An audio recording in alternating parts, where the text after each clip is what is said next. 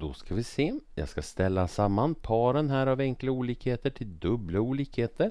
Jag ser att det är z, z, så jag börjar med att skriva z sådär. Och så tittar jag vilket av minus 3 och minus 1 är minst. Och det är ju minus 3.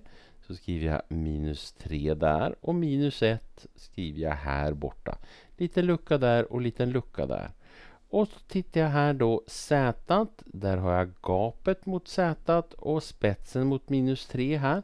Då ska det vara så där och så ska det vara ett likhetstecken under där. Och så sen när jag tittar minus 1 så ska gapet peka mot minus 1 och spetsen peka mot Z. Och här finns det inget likhetstecken så då ser det ut bara så.